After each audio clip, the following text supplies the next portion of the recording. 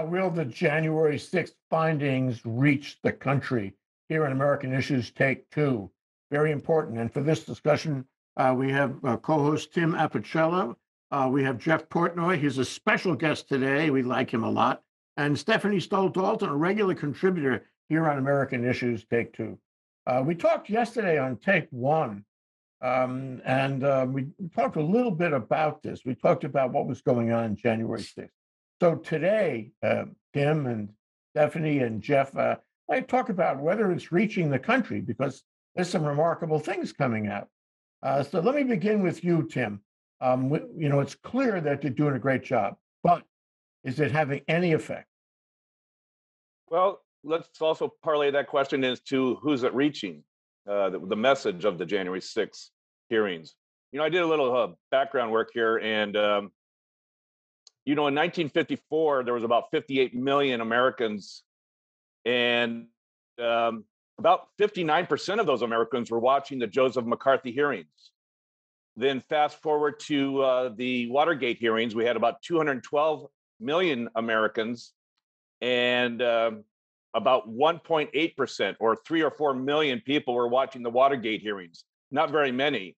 Now go to the um, first June 10th January 6th hearing, and we had 20 million folks, but uh, compare that to 310 million Americans, we're about 6.5% viewership. So I don't know if that that gives me a trend or not, probably not, but it probably is closer to Samuel Clemens lies, damn lies, and statistics quotation. Uh, what's it say to us? I don't know, but it is reaching Americans. 6.5% is, you know, a significant number higher than the 1.8 in 1973. Uh, but who's watching it? Democrats, independents, or the GOP? I'd have to say independents and Democrats. Well, yeah, I mean, uh, is, is Fox News showing this? Uh, the people who watch Fox News give a rip about it, or they feel it's all a witch hunt.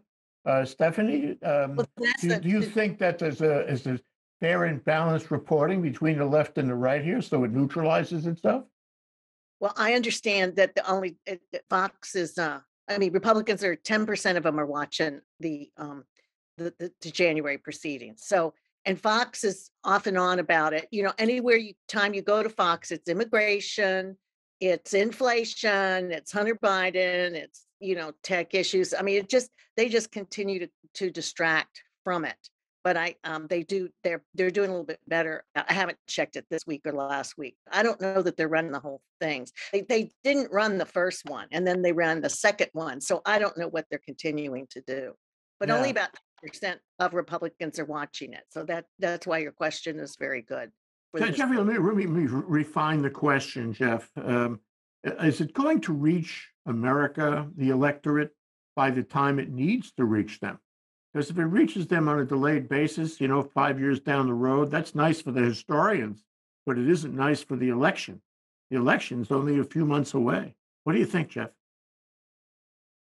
I think it's theater. I think it's had no impact on anyone other than folks who have already made up their mind. Maybe there's a very small percentage who have been influenced by it. Um, I don't know the statistics. I don't know. I'm sure the polls will come out and say, you know, how many people watched all or part of the hearings and how many were from which political party. I mean, if it changed any minds, it changed very few. I think the Republicans have their own story and their own history, and nothing that's going to be done at these hearings is going to change their minds. I think the Democrats have their story and their history. The only thing, in my view, that may move the line is whether any indictments come out. That would be significant. But I don't think, I think it's a bunch of talking heads, to be quite honest. I, if you watch MSNBC, you know what you're going to see about how they interpret the hearings. If you watch Fox, you know what they're going to say. If you watch CNN, you can pretty well guess what they're going to say. And you know, I mean, for the panel, for the Democrats, it's uh, you know, it's it's it's good theater, but uh, I don't think it's going to have much impact at all on the elections. You mentioned that the exception to that would be um, an indictment. Why? Because the people who um, don't want to hear about the Democratic point of view. Um, they don't want to hear about indictments either. Why, why is that special? Well, I mean, theoretically, it removes it from partisan politics. It doesn't mean people will accept it that way, but it takes it out of a congressional hearing that's being led by Democrats with two renegade, as they see it, Republicans. Uh, you know, I think, I think at least independents will say, hey, there might be something here with an indictment. And I think it will galvanize both sides if there is one. Now, if you're asking me whether I think there's going to be indictment, I do not. I don't think, you know, they keep saying there's a smoking gun. You know, it just depends how you interpret what Trump said. He certainly didn't say, go storm the Capitol. He said things that the Democrats believe incited people to do that. And the Republicans say he was just exercising free speech. And so far, the Justice Department hasn't done anything that anyone can see, but who knows? I know. You do? The Then tell yeah. us. The Justice, the Justice Department isn't doing anything, Jeff. I'm sorry to say. All right, there you go. Now, you know, you, you have all this, uh, this information and you've been in court your whole professional life. And many of your cases have dealt with circumstantial evidence. So wh- when let's, when Trump says, let's have a wild time in Washington, um, can't a reasonable viewer, juror, person uh, conclude that he's really doing a dog whistle on that? Isn't that uh, a circumstantial evidence kind of question? You know, we're getting back to basic free speech. And is, is it is it yelling fire in a crowded theater? That's really what it is. Let's take a phrase, a phrase everyone's heard. Is what Trump said yelling fire in a crowded theater? Did he tell people? No, he's too smart. Did he tell people to go storm the Capitol, break the windows, and try to hang Mike Pence? No. But did he say enough that people who wanted to interpret it the way they want to interpret it, the Proud Boys and all those other boogaloos, and yeah, did they hear the marching orders? Absolutely. I, you know, yeah, well, I don't, think, I don't think me- there's going to be any indictments, but it doesn't make what happened that day and Trump's involvement any less dramatic and and and serious as it relates to democracy. You've seen, you've heard, you've read, you know, what's been coming out in the committee hearing. And, um, you know, you're, you're a professional. Um, so Thank I you. put, I put you on the, I put you on the grand jury here, Jeff. Uh, or I put you on the petty jury and, uh, I, I put all that evidence in front of you. Now, was he asking them to come and, and have an insurrection? Yes or no? No, I think what he was saying is he was asking them to protest the uh, counting of the electoral college. Now, you know, you want to interpret that any way you want. Why don't you ask the other two who aren't lawyers and don't think like lawyers? Fortunately for them, I hope. Uh, you know what they would think, because that's who's going to be on the jury, not not people that have a legal background and are looking at it much more technically than the people who will sit in judgment. Okay, Tim, you're on the same jury with Jeff. You're sitting next to him as a No, matter of Jeff fact. Jeff didn't make the jury. Oh, Yeah. oh, yeah, we. And we- we're not we ch- passing notes we back I, and challenged w- I, forth. him w- I all- was I was what's still allowed a preemptory challenge. No question, no question about it. All Both- right. Both sides, both sides. All right. Well, I, I'd answer it the following way. What evidence or s- shows a state of mind that Donald Trump had when he was calling the Secretary of Georgia or the secretaries of uh, Arizona or, or Michigan? What was the state of mind for him to try to garnish uh, 11,780 votes? What was the state of mind he was, uh, you know, involved with when he was calling the DOJ and having Jeffrey Clark uh, try to install him as his lackey so he can get a statement out of Jeffrey Clark that says, um, hey, don't worry about this. There's fraud and leave the rest up to the Republican legislators. So I go to state of mind. But but but now I'll put my lawyer hat on. What's the crime? what I mean, what's the crime in making the phone call? I- Is yeah, I don't I don't know what the I don't know, is. called Is it election sedition? tampering. Is it sedation? He didn't do any tampering. He Well, made a call wait, and he Jeff. said, "Find me." He made a call and said, "Find me eleven thousand votes." I, I'm gonna. I'm Well, gonna you know, I I'm can, sorry, but- Jeff. well, I don't, you know, I don't know how plain that has to be, but maybe for some circles in this world, a little more plainer. Well, if we know while we're sitting on the jury, by the way, Stephanie, you're also on the jury, okay? if, if we know the, the total, you know, circumstances, all the circumstances we've heard, you know, I mean, uh, you know, I asked about what happened, you know, what was adduced in the, uh, in the select committee, but you, you know, uh, Tim is right. We should consider, what's his name, uh, Harshberger also, and, and Georgia, and, and some of the other things that, that the Teflon Don has done, um, to sort of explain um, make you understand the nature, the way he communicates, his dog whistle way of communicating as a mafioso. Uh, so, so if I give you all those circumstances, Stephanie, and I say this, this um, now query um, is what came out in the January 6th committee.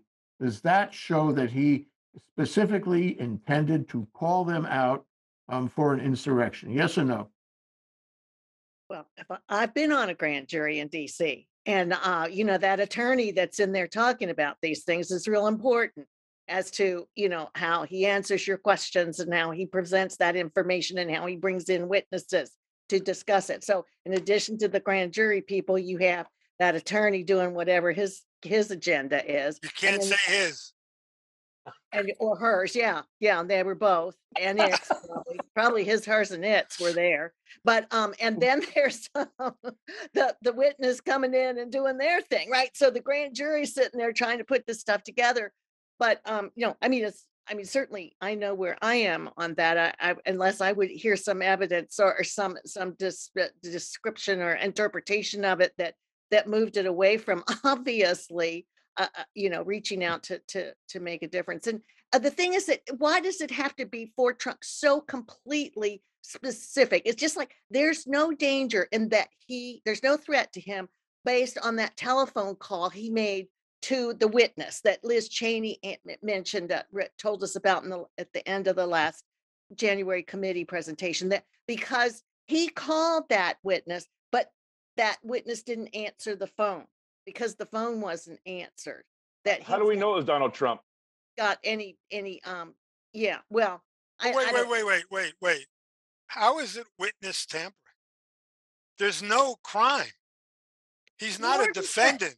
But the, the legend, they're It's holding mortal hearings. They have threat. no, they don't have the same legal force and effect as a court. They don't like it that he made a call and tried allegedly to talk a witness into saying X, Y, or Z. So what? They have no legal power. They're a committee of Congress which is putting on a show. I don't mean that in a bad way. So how's that witness tampering? If he was a defendant and he made the call, now we're talking about something different. Well, Really? I think it He's a poten- he's certainly a person of interest. So He's what? certainly a potential defendant, and he Every wasn't. one of us is a potential defendant in something. You're, you're too kind. No, look, you know, I, I don't want to be misunderstood here because, you know, people will start emailing me. I think Donald Trump is a horrible human being, uh, has done tremendous damage to the country. Unfortunately, 30 to 40% of the people love him like they love Gaddafi. Yeah. And fortunately, we still have a democracy. So we can have hearings like this. They wouldn't be having these hearings in the Soviet Union. But it is a huge leap to indict a former president of the United States and what it would mean for this country. You got to think that through.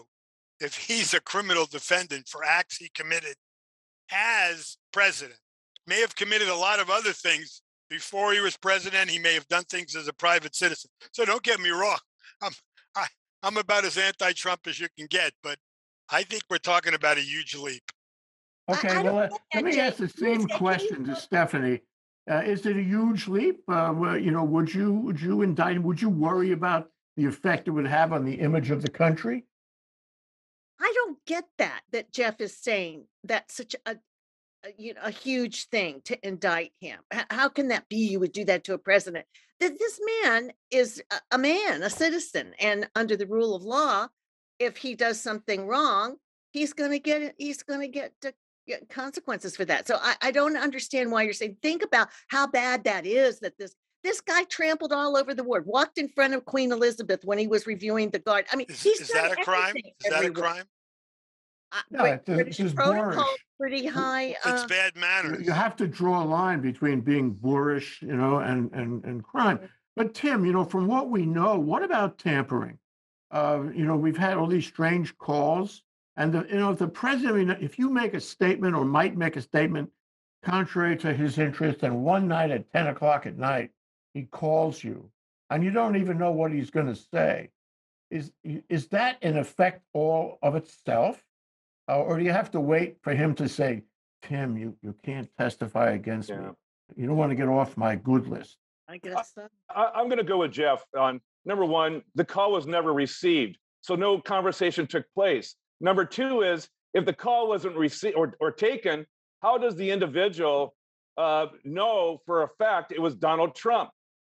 Could have been a staff person. It could have been anything. So, you know, there's two glaring things right there that I just can't, you know, put my arms around as to witness tampering. Um, it's plain and simple. Now, other witnesses, uh, I think it was Hutchinson that testified about, you know, the the, kind of um, mafio don mafioso type of suggestions is, you know, Donald's reading the transcripts and he's concerned that you do the right thing. And, you know, the only thing he didn't say is it would be a shame if something happened to your cat, you know, but uh, there was a suggestive language that Donald Trump uses as the kind of the the the don of mafia of New Jersey.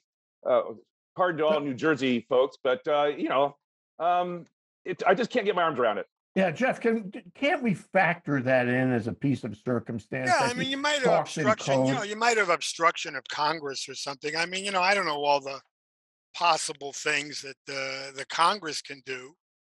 I don't think there's much, but maybe obstruction of Congress. I've heard that before, you know. I, look, I, I, what new have we learned? Well, that's true. Seriously, I- what- I, what I, I totally agree, but you know what new have we learned from the six hearings that you know we didn't really know about but maybe now it's a little bit more definite because we've heard it from a witness what changes we know what happened on january 6th we know what happened two hours before we know what happened during and we know what happened after so i mean where's i was reading the other day where's the smoking gun i haven't found it yet well, aside from the smoking gun, what's the, certainly Trump doesn't come off very well. No, of course all not. He comes this. off horribly. And If the you be- question. But you is- believed it before it started. I one knew, the we all knew it. We all knew this happened before the committee started. Well, started no, forty working. percent of the country thinks he's being persecuted.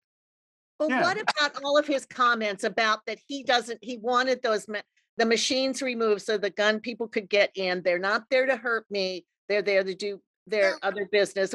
These are very uh, damning statements that he's made that have been reported and witnessed and quoted. So why is that not something new? And, and it's like Joe Biden was working like a demon and with no, he didn't, he's running around all day doing stuff while while Trump was all day working on this, the man's never done a day's work since he's been in the White House. But he was working this thing the whole time. He was uh, not out there talking to the crowd. So Let's go back to the original question, Stephanie. Um, is this reaching anybody? I mean, Jeff takes the view that it's nice theater, um, but it, in the end, it doesn't mean anything. We, we all knew and we stay in our respective camps and we're, we're not about to change our minds because of this. You may feel stronger about it, but that doesn't mean the other side, you know, the, the Trump side is going to feel differently about it. Um, is this going to affect the election in November? Actually, the voting starts sooner than that. It starts like, hmm, my God, in, in September or so in some states, to the extent there is voting. Well, Um, so you- my question is, is this really going to affect the election? Or are we going to have both houses Republican in November? I think that you brought this up at the beginning of the January 6th when it was just putting a, a committee, when it was being put together, and I thought it was going to be important. You said you didn't think it was going to make a hill of beans difference.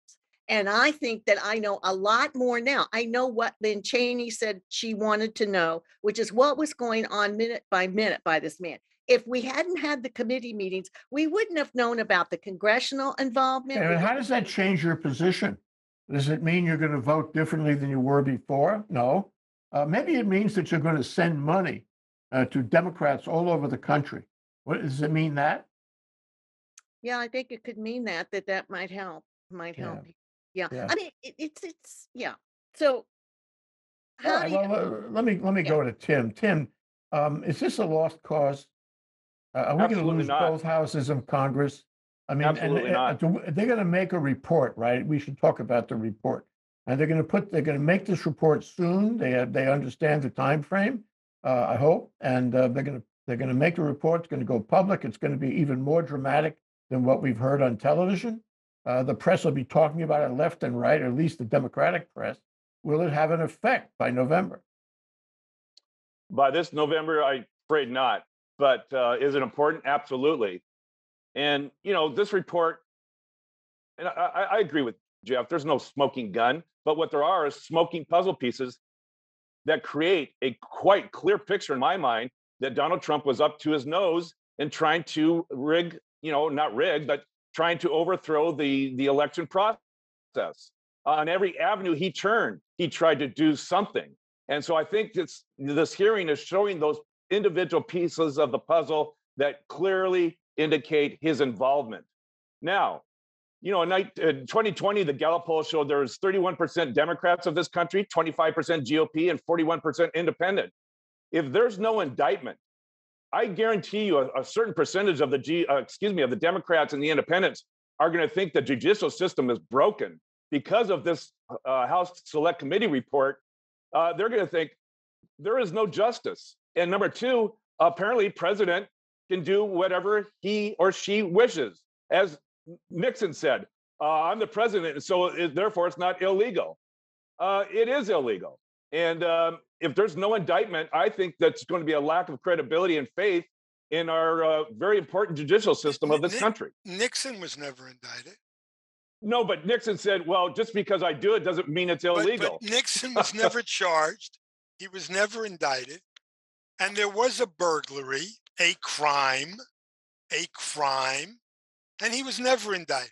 He was run out for political reasons, and rightfully so, because they engaged in all kinds of activities. But Mhm.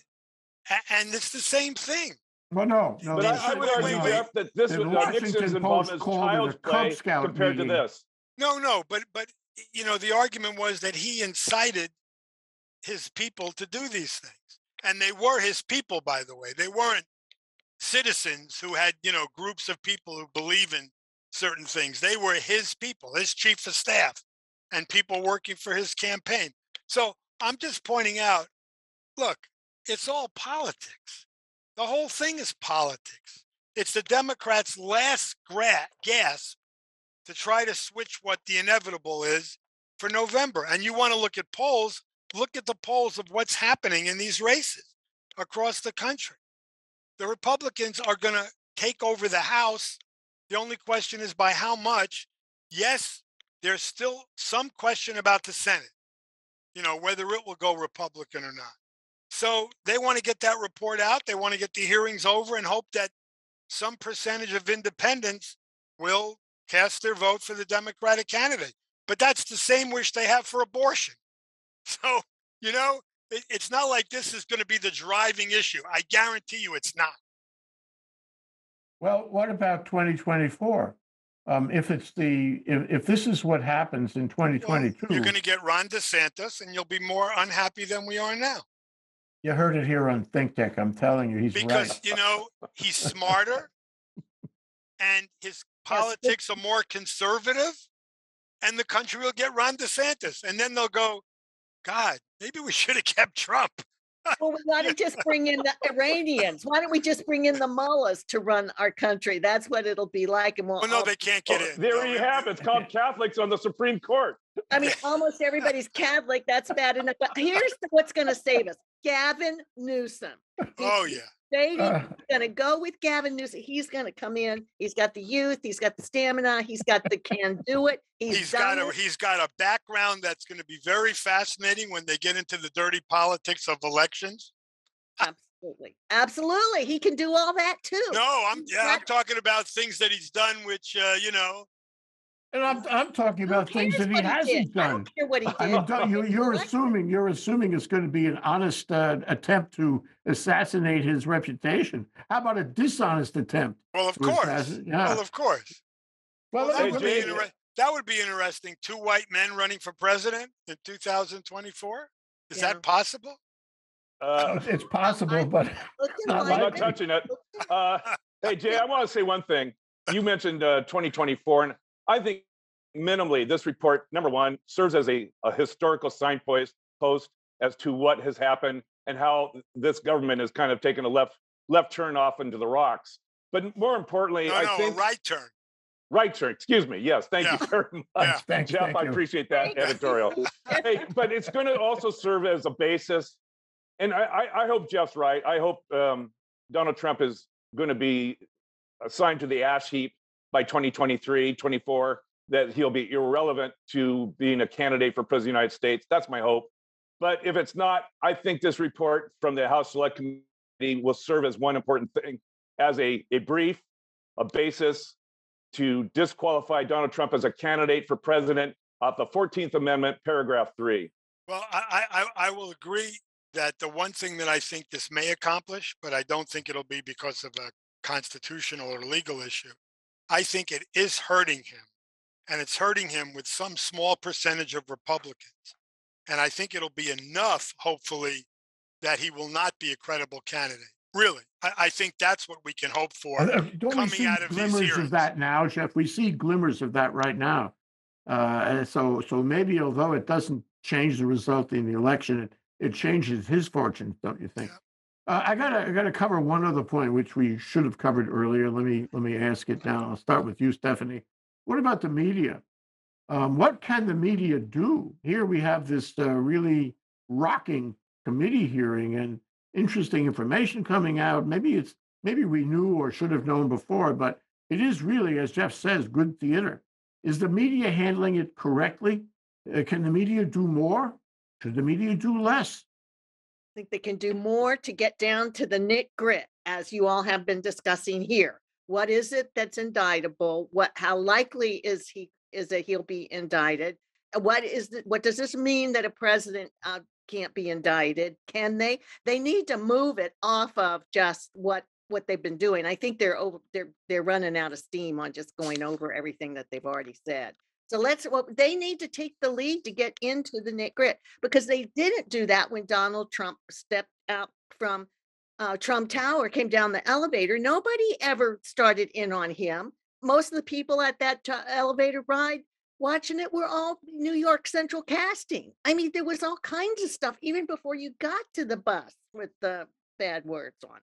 So I think, uh, Jay, that's a good question, and that we need to demand more out of the media's work. Don't just tell us about Cassidy. Tell us about what's going to happen. Yeah, is Tim, you're a big uh, First Amendment guy or reverse First Amendment guy, as the case may be. Oh, that's Uh, not true. You think that the uh, okay? What do you think that the uh, the First Amendment is in jeopardy here? Do you think the press should be doing more or less?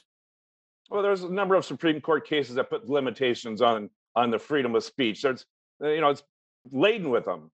And uh, the black uh, decision of yelling fire in a crowd theater is just one of many. But you know, you asked what the media can do, and I, I, I'll say it's not the media; it's the FCC. Let's have the FCC tell Fox Entertainment uh, to stop, you know, posing as a news station and start delineating them as an editorial board uh, let's separate the news desk from the, the commentary board. And that goes for CNN, that goes for MSNBC, that goes for every news outlet. Uh, don't call them news unless they start reporting the news. So if that's anti First Amendment, then I'm guilty. Jeff, has the media been doing a good job in getting the word out on this? What, if anything, can the media do going forward to to to get the reach further into the American hinterland? I think, you know, give CNN some reason to hope that their ratings go up. I mean, you know, I mean, you know, I mean, it, it, it, you know, I mean, uh, you know, Ukraine is kind of faded, so they can't do that for 12 hours a day. So every, you know, every two days during the hearing and the day and the day after, they spend 24 seven on it, as does MSNBC and Fox, as Stephanie said, tries to figure out what else they can put on. You know, what other issues they can put on to distract and occasionally they'll they'll point out how ridiculous the hearings are I think the media is doing what they always do with any event. I, I go back to its theater. I'm sorry. That's what it is. It's politics. It's political theater. It's entertaining. If you have eight hours a day to watch, you know, and and uh, it, it's run by the Democrats, and they're doing exactly what they wanted to do. And you know, you you ask, frankly, whether it has an impact. I think it has had an impact on some small number of people uh, and and actually it's it's creating an, a more evil Trump. You know, he could be just sitting by the sidelines now, putting his campaign together, but he's too busy tweeting about every single person that talks bad about him, and he's just increasing what people believe about him. At least the majority of the people that he's a megalomaniac with serious psychiatric problems, and hopefully uh, that continues and it gets worse. Okay, what can you and Tim and Stephanie and I and right-thinking people do about this? Because you're painting a picture, you guys collectively are painting a picture where this is going to have no immediate effect. Uh, and it may not have an effect except in the history books. Well, we all know what we can do. We can just vote or we can contribute to candidates we support. I mean, that's really what it comes down to. You know, the country elected Trump. He, didn't become president because he wanted to be, and he just simply decided, I'm Donald Trump. You know, the Electoral College elected Trump, and they may do it again. And, you know, it depends on the voters. And I've talked about this ad nauseum on these programs. The country is divided in half. There's the country to the east of the Alleghenies, which is combined with the country somewhat west of the Rockies, with a few exceptions. And then there's everybody in between. That's where we are. You know what? You got to do away with the electoral college because more and more people are moving to rural areas. More and more people are moving out of cities. Gerrymandering is taking away districts that are minority controlled, and the Supreme Court is encouraging it. So, you know, We you need got to to- just vote I, because the su- well, I suppose you the could move to Idaho and vote. Well, but the Democrats have won every election on numbers. That's the way the country should be run. Who gets more votes, not who gets more states. And that's what's wrong. And is that ever going to go away? That's got to be fixed. No, no. Um, that's got to be. Okay, I think it's time for, it's time for summarization, if you don't mind, last words. I'm done. Well, in, in some sense, Jeff, we're all done. Stephanie, go. I'd like to see the media, uh, the, the, the visual, the TV do more like what the New York Times does and the other, the other print media. This Herschel Walker thing has really got me de- just desperate for his, the person he's running against, who's so accomplished and, um, and, and he won't allow, and they've fixed it, so he never gets to be shown up against, uh, I'm sorry, uh, his name is escaping me, he's that wonderful reverend in Martin Luther King Jr.'s church. So wh- why, d- we can't allow that. If- if Warnock. one- yeah. if They can do it in the New York Times. They can write it down what this man says. Well, CNN ought to be able to see, here's Herschel Walker and what he says and run it over and over again. We need more real stuff, which is what they didn't do for us when Trump was running for president. If we had had more information, then I think we could have avoided this. mess. Okay, Tim, uh, up to you to make sense of all this and to give us at least a shred of optimism. Oh, Jay. Okay, first off, um, you know, uh, hats off to Jeff. I, I agree with his bill proposal, of remove the electoral college. Uh, amen to that. If I'd like to provide a friendly amendment, and that is uh, term limits for everyone in Congress, please, uh, and Supreme Court. Uh, but what we really have here, I think, is a picture that we've never seen quite in history, and that is a, a president who just couldn't accept the loss uh, of a vote in 2020 and had to work overtime in every avenue he possibly could to try to just change that that he would retain power. Um, it's a lesson of uh, it's a sad lesson of a flawed a mentally flawed individual who just couldn't accept the loss and uh, to this day still does not uh, as far as a positive optimistic look uh, the gears of democracy is still working uh, we have a system as as uh, was mentioned on the show we're not in russia this would never be viewed in half of the half of the countries in South America and certainly not in Russia or in China. Uh, this is a rare thing that we're watching, and it's democracy at its best. My That final comment, even though I said I had none, Uh-huh. until the country really has one person, one vote, we got big problems. Mhm. Okay, I, I guess what I take from that is we're done. We're- we're Thank done. you, Tim. Thank you, Stephanie. Well, it you. Jeff. depends, it depends what color you want your meat to be. I'd say we, I'd say we're out of the red and we're moving into the dark brown. Hey, can I use a quotation before we sign off? Can I use one of your quotations? Sure. I think I'm going to soak my head. Uh, can I make a book recommendation? Hmm. There's a book out, Gideon Rachman. He's written uh, The Age of the Strong Man. So he's a a editor um, of the uh, Financial Times, Brit, and he's got a fabulous book out that that explains the globalization forces that are that are pressurizing all of this, and then what happens within these uh, the countries with the, the the issues of popularism and uh, how these men are so attractive to these people who are so afflicted and the um, liberal democracies are not meeting their needs and they've just got to wise up and become more informed about it to understand the emotional issues that are involved as well as the lack of attention to the real issues on the ground that these people are dealing with. Okay, really we got, we got to go. Uh, we- we got to let Tim go and soak his head, as the case may be. Thank you all. Thank you, Stephanie. Thank you, Tim. Thank you, Jeff. Thank you, I So enjoyed these discussions. Aloha.